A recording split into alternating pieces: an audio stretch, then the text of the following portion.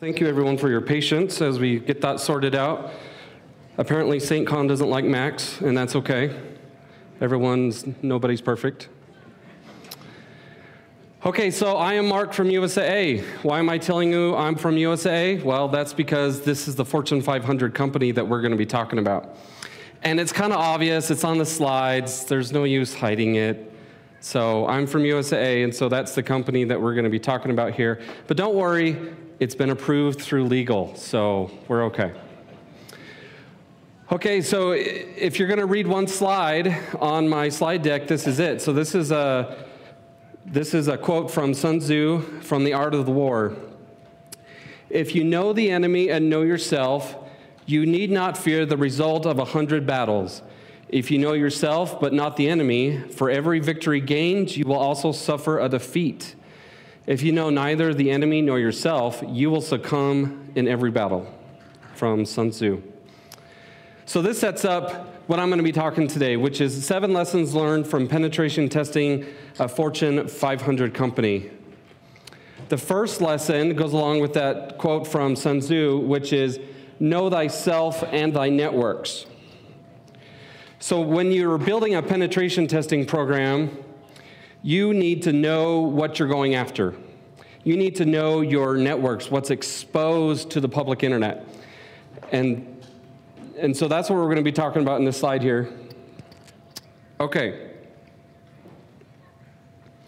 So, first lesson Does your company know what they have exposed to the internet?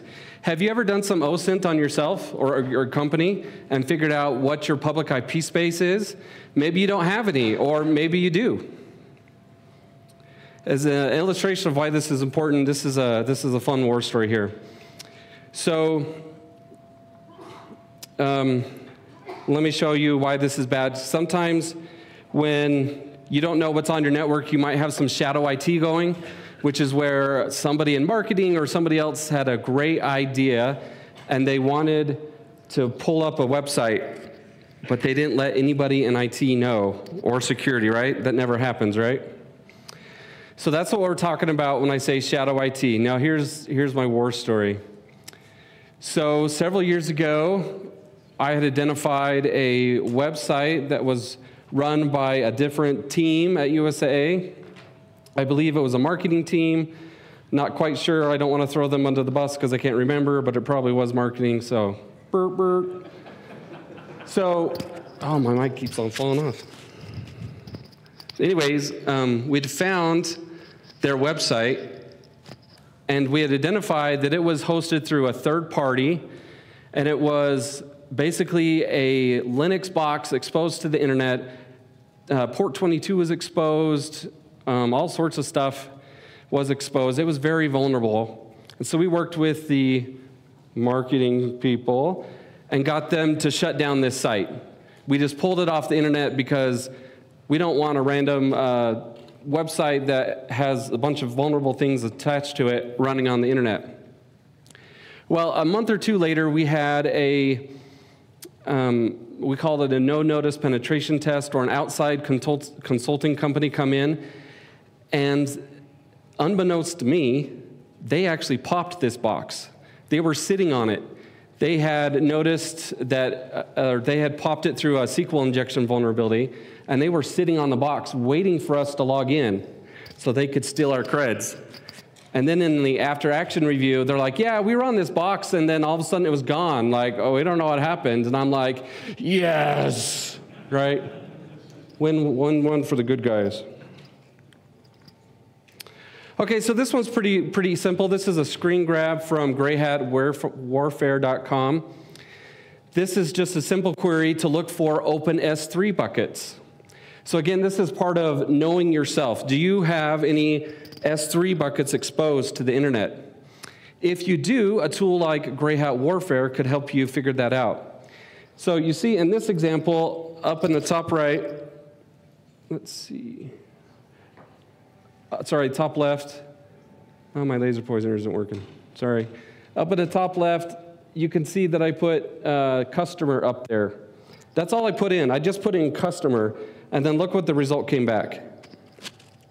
Now, this is not USAA. This is not anybody that I know. This is just something that I found randomly by going to grayhatwarfare.com and putting in customer. This is a dump of somebody's entire database sitting there on an open S3 bucket. Do you know if your company has any open S3 buckets? Right? Go see where I'm going here? Okay, you know and love this tool, right? It's Shodan. Shodan is a simple scanner, an internet scanner that scans the entire internet every few days and looks for interesting things. Have you ever put your company's networks in there, or maybe your own private network, or your domain name? In this instance, you can see that SSH is open. That might be a bad thing. It turned out that this one was false positive. SSH wasn't really open, I checked. Okay, you might recognize the URL on this one. Oh, okay, people, some people got it. So if you go to saintcon.org slash admin, you are presented with this lovely WordPress admin page. So yeah, you can go there right now. Don't try to log in. That's not what I'm saying, okay? But you can go there if you want. And I don't know if there is multi-factor authentication behind this or not. Maybe there is, maybe there isn't. Maybe if I bend it this way, it'll stop falling off my face. Okay.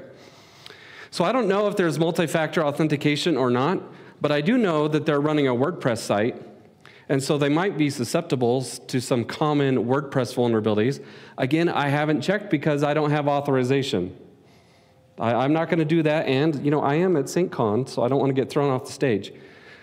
But do you know what your company has exposed? Are they running WordPress? I mean, something you should check, right? Okay, lesson two Know thy enemy and think like them too. Your network administrator, or perhaps your boss, probably thinks like the first character. Man, we got these awesome security products. We got this thing called a firewall. Ain't nobody gonna break in. Yeah. So maybe they won't go through the firewall. They'll just send you a phishing email, right? You got to know the tactics of your enemy, and you got to be able to think like them too. So here's an example of an attack vector that you could potentially use. Does your public um, does your public employee portal, where your employees go to when they want to work from home, does it have MFA enabled or perhaps some rate limiting on that on that page so you can't do some credential stuffing? Well, don't worry about that. You just target a different site, maybe on, on the, still the same domain, but maybe they left a, a Lync controller up, you know, that precursor to um, Microsoft Teams, or maybe even Skype. Maybe they have something exposed. So you go and try to find a different portal still within their domain or website that might have single factor auth? And if so, just do a simple password spray with your favorite month, year, and exclamation. So let's see, October 2023 exclamation. You know that's going to be a good winner somewhere. Or maybe it was from a few days ago, so, or a few months ago. So you could try September or July 2023 exclamation point. So once you finally get your creds, then you go back to the actual employee authentication portal. And when you get prompted for multi factor authentication, if they happen to be using push MFA, that is, you just kept on saying, Yeah, authenticate me, authenticate me, authenticate me. And the person on the other side keeps on getting all these push messages. And maybe they're at the grocery store and they're like, Man, I'm tired of getting these notifications, accept. And then they're in that is an entirely made up story. of course, step five is, is pwnage. Okay, lesson three. You need to test inside your network and out. So, this is what your boss probably thinks of your network, or, or perhaps your chief information security officer. They're like, yes, our network is the bomb. But in reality, it probably looks like this. At least on the inside, right? Maybe you have some nice brick and mortar walls. Maybe your firewall is all that in a bag of chips. But inside, it's probably a little more squishy. You need to assume breach. What would an attacker be able to access? What if your user population clicked on that phish that you didn't want them to click on, but you know they will because we're all human? What if they clicked on that? What would they be able to see? Where would they land on your domain? So, as a penetration tester, it's perfectly legal, or perhaps a red team, depending on how your organization splits it up. You can land in your user zone and just say, hey, employee clicked on a phish. I'm here. Now, what can I do? Totally plausible, something you should definitely look at. Okay, so this is an interesting story. So, from the user network, we were conducting a penetration test, and we found an Elasticsearch index. And we found that just by doing a simple GET request on the URL and then underscore cat slash indices, would produce this lovely little output that you're screen that you're seeing to enumerate the index names. And we found that one of those indexes had a really large length according to Burp. So we're like, hmm, all these other ones look relatively the same, but that one is like 10 times the size of the other one, so that one must be interesting. So we did some Google fu, and we found, again, without authentication, just using um, burp that we could do a GET request and then using one of the indexes from the previous slide, and then add a little search underscore search in the URL. We found that, hey, you could dump the database, all sorts of gnarly information. But there was a problem because we found that when we did that, it only gave us 10, 10 bits of information, 10 cases, as it says there. But that's okay. We could just increase the limit to 10,000 and then pull the entire database.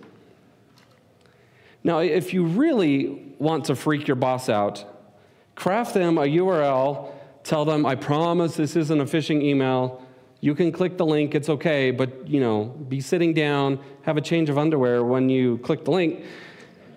Because you can send them this link and again, without authentication from the user network, here is a dump, a ton of information that could be sensitive, all from this open Elasticsearch index.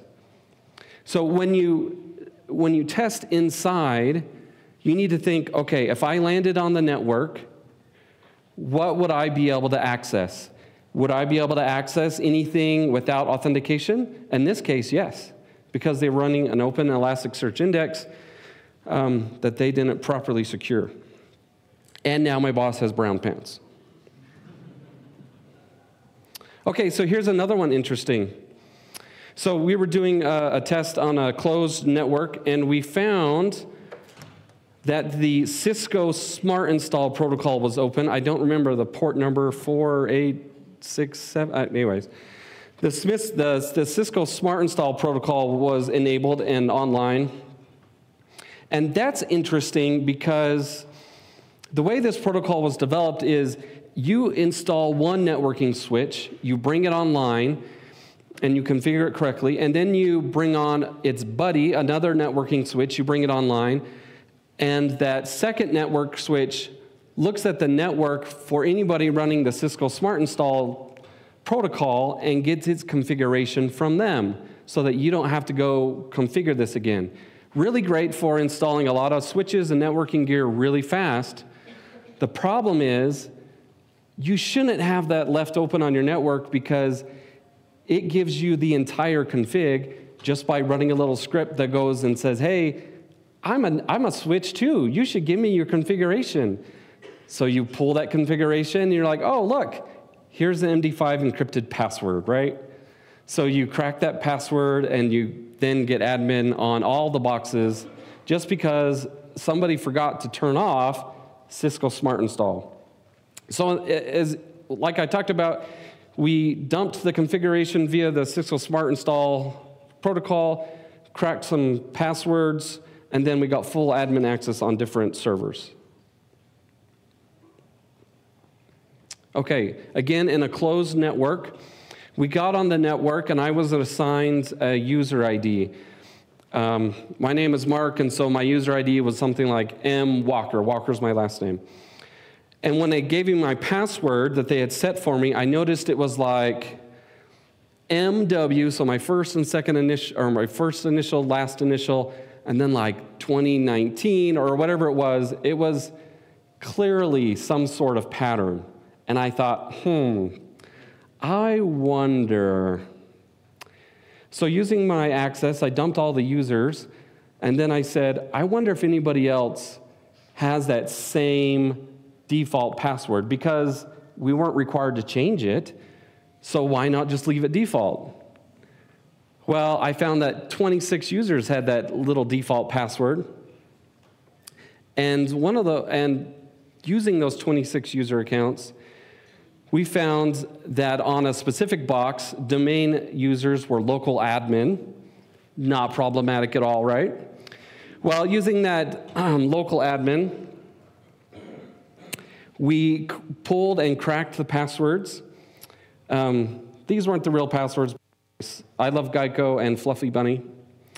So we cracked their passwords. There were some admin passwords that I wasn't able to crack during the course of this engagement, but I was using a crappy, really limited Kali VM that didn't have any guts at all. So, you know, not too surprising. But that's okay because I could use the pass the hash technique to get admin on a few other boxes. So, using those same 26 user accounts, I have found that, hey, they have a uh, GitHub repository. Well, that's interesting. What access do I have, right? So, I found that I could get access to 64 projects and in those projects, there were API keys, passwords, some cloud account information. Oh, and by the way, they also had a share drive that I had access to through one of those 26 user accounts. And in that share drive, there were mobile device passwords, more passwords, and then some plain text admin creds, which turned out to be full admin on a critical server. So, why am I sharing this? One, because it's fun. And then, secondly, hey, what, what was the core vulnerability? It was a simple password pattern, and they weren't required to change their passwords. All the other issues that I talked about um, domain users or local admin, the fact that they had passwords stored in their share drive and through their GitHub, those are all issues, don't get me wrong. But the reason I found them was just laziness, right? Hey, I'm going to use the same password pattern for everyone so that if they ever forget their password, I can easily reset it for them. But, you know, a savvy attacker could do the same thing. So, lesson four get certified. Now, what do I mean by that? Well, I have a story here. So, I started uh, penetration testing in around 2018 at USAA. And my mentor uh, by the name of TJ. He had about 10 years of experience at this point. He had been uh, penetration testing for uh, uh, outside consultant, and he'd done penetration testing at his previous employer. So he, he had a ton of experience, and he taught me the basics um, when I started penetration testing. Well, we were in a meeting with our um, PCI auditor. So PCI stands for Payment Card industry? Yeah? Okay. And they are the folk that make sure that when you accept credit cards, that your networks are good and that you're not like Target, right? Although the Target was completely PCI compliant, by the way. So, anyways, we were having a um, meeting with our, PS, our PCI auditor, and he asked, How are you uh, accredited or how are you certified to get uh, to do this penetration test on, our, on your PCI networks. Well, my friend TJ, he didn't have any certifications, and so he went on for about five, seven minutes about all the wonderful things he had done. And it was great. And then what is when it was my turn, I just said, Hey, I have the GPEN. And he's like, Oh, okay, check. And that was it. Mine was like 30 seconds, and his was five to seven minutes, even though he had vastly more experience than I did, because I was certified. That's what mattered. Now, do you have to get the GPEN? No. What I'm suggesting is that you get the certification that matters to your boss, because your boss is the one that's going to be promoting you. Your boss should hopefully know which um, certifications are useful for uh, your auditors. In my case, it was GPEN.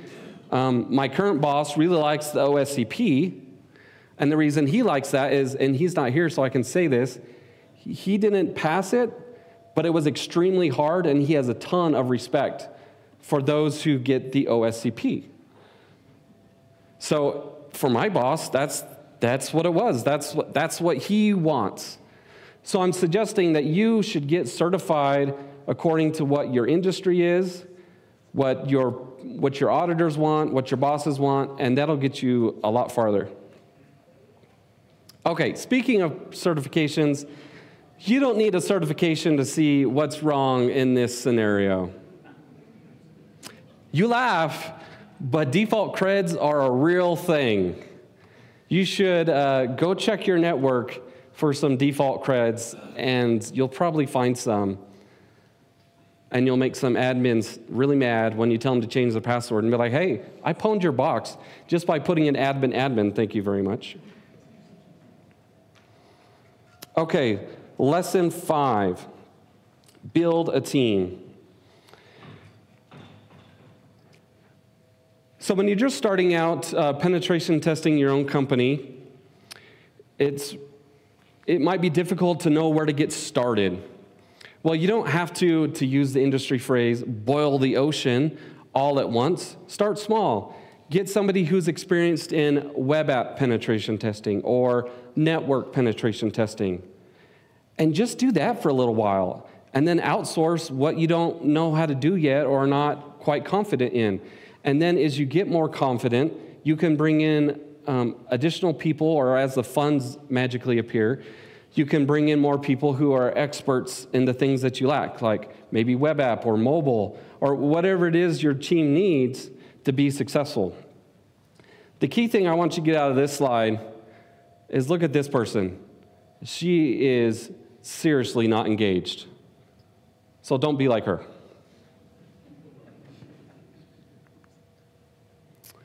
Okay, lesson six be curious.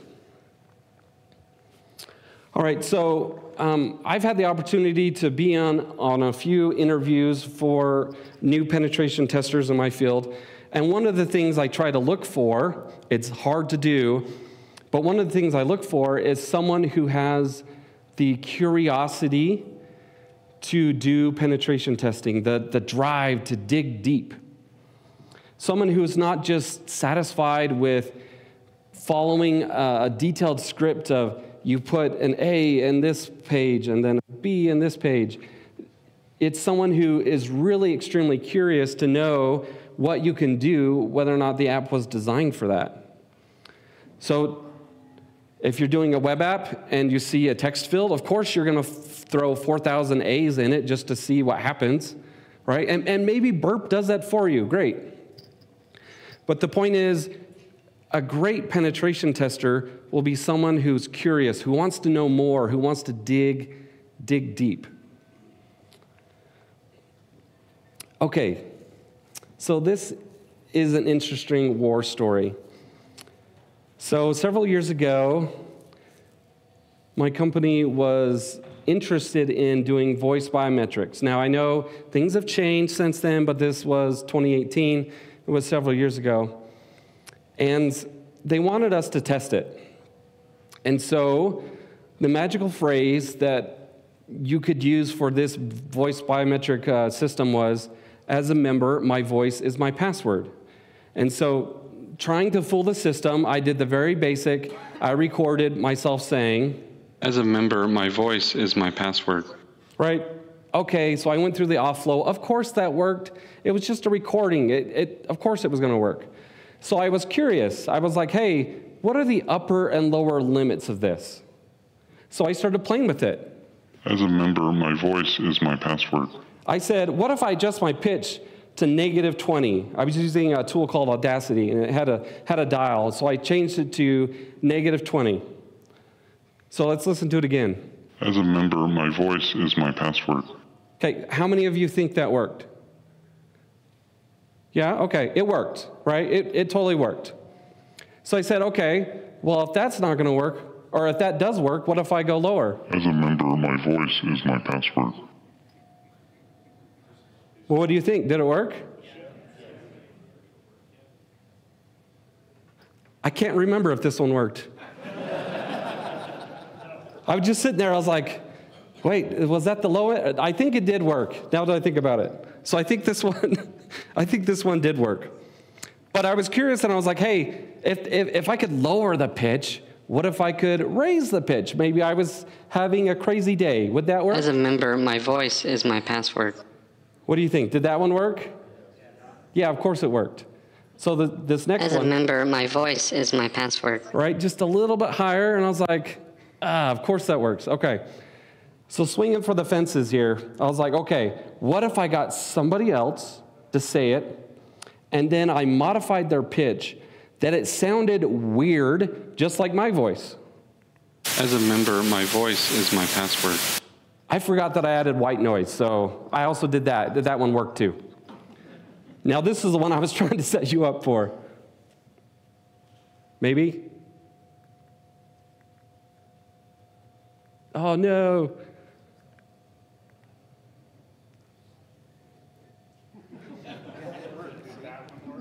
Okay, well, the coworker who said that is actually in this room. So imagine him saying, As a member, my voice is my password.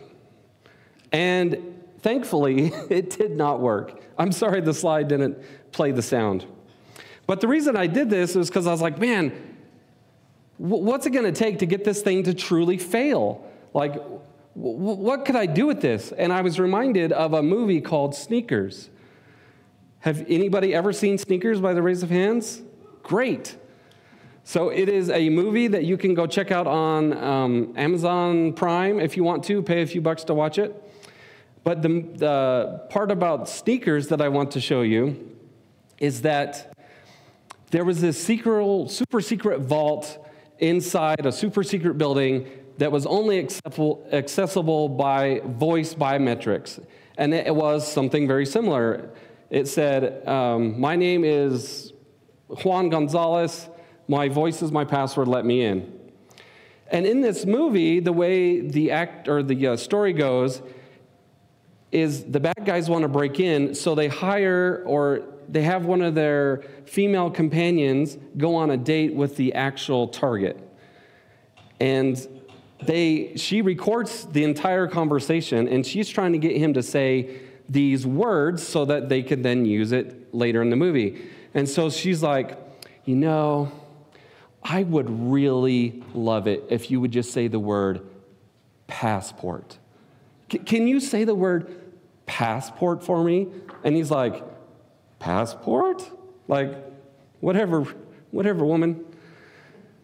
So after the date, they take all those words that were said throughout the entire date, they splice it together, and then this is the part of the show that is. You are clear all the way up to the mandrel.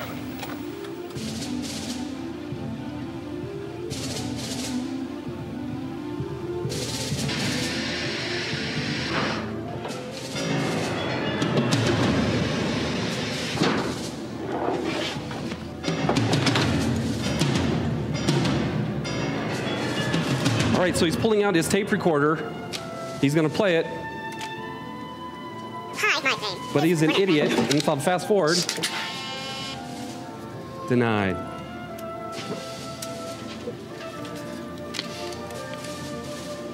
Hi, my name is Werner Brandes. My voice is my passport. Verified.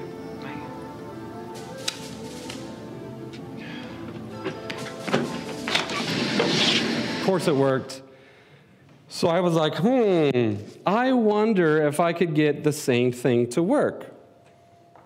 So I recorded myself saying some really nonsense phrase like this. Oh no, it didn't say the nonsense phrase. Let's try this.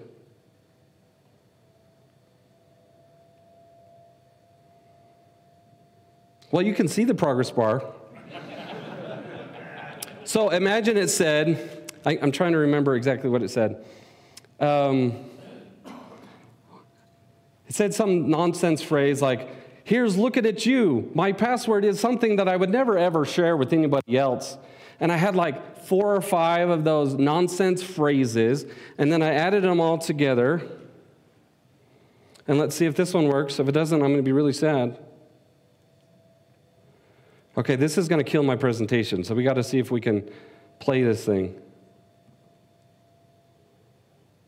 Maybe the volume's down? Let's try this again.